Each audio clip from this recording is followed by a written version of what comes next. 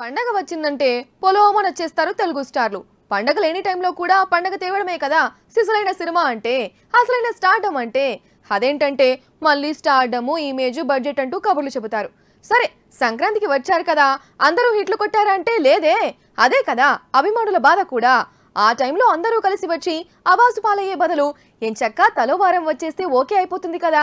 పైగా కంటెంట్ ఉన్నోడికి కట్అవుటే కాదు టైమింగ్ కూడా అక్కర్లేదంటారు కదా.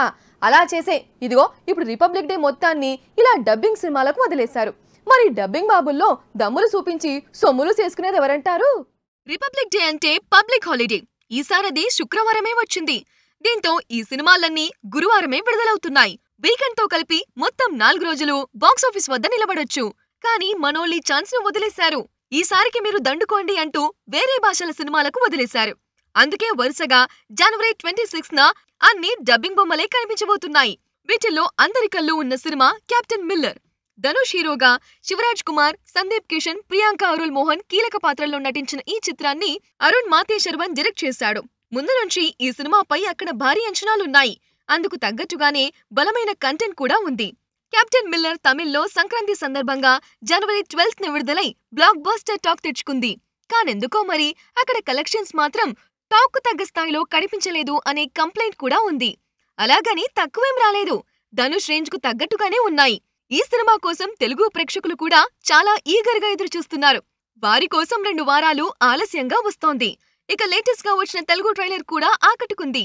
ఈ రిపబ్లిక్ డే సందర్భంగా తెలుగు ప్రేక్షకులను ఎక్కువగా ఆకట్టుకునే సినిమా ఇదే అవుతుందేమో అనే అంచనాలున్నాయి.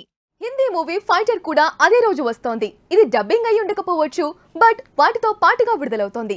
హృతిక్ రోషన్ దీపికా పదుకోనే అనిల్ కపూర్ కరణ్ సింగ్ గ్రోవర్ కీలక పాత్రల్లో నటించిన సినిమా ఇది. సిద్ధార్థ్ ఆనంద్ డైరెక్ట్ చేశాడు. రీసెంట్గా వచ్చిన ట్రైలర్ చూస్తే పుల్వామా దాడుల్లో అమరులైన భారత జవాన్ల కోసం మరోసారి పాకిస్తాన్ పై దాడి చేసే కంటెంట్గా కనిపిస్తోంది. ట్రైలర్లోనే కావాల్సినంత దేశభక్తి కాసింత ఎమోషన్ కనిపిస్తున్నాయి. మరి మూవీ ఎలా ఉంటుందో చూడాలి. ఇక జనవరి పన్నెండున విడుదల కావాల్సిన తమిళ్ మూవీ అయలాన్ను పంతొమ్మిదికి వాయిదా వేసుకోమని చెప్పారు తెలుగు మేకర్స్. వాళ్ళు పంతొమ్మిది నుంచి ఇరవై ఐదుకు షిఫ్ట్ అయ్యారు. రకుల్ ప్రీత్ సింగ్ హీరోయిన్గా నటించిన ఈ చిత్రాన్ని రవికుమార్ ఆర్ డైరెక్ట్ చేశాడు.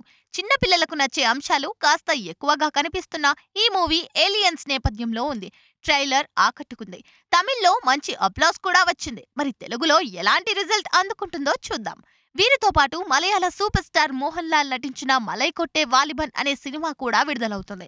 మోహన్ లాల్ తప్ప మరో ఆర్టిస్ట్ ఎవరు తెలుగు ప్రేక్షకులకు పెద్దగా పరిచయం లేనివారే అయినా కంటెంట్ స్ట్రాంగ్గా ఉంటే ఆకట్టుకునే అవకాశం ఉంది హిస్టారికల్ ఫిక్షన్గా కనిపిస్తున్న ఈ మూవీ కోసం తెలుగు ఆడియన్స్ థియేటర్స్ వరకు వెళతారా అనేది పెద్ద ప్రశ్నే. పైగా ఇప్పటి వరకు వచ్చిన టీజర్ మనవారిని పెద్దగా ఆకట్టుకుందా అంటే చెప్పడం కష్టమే.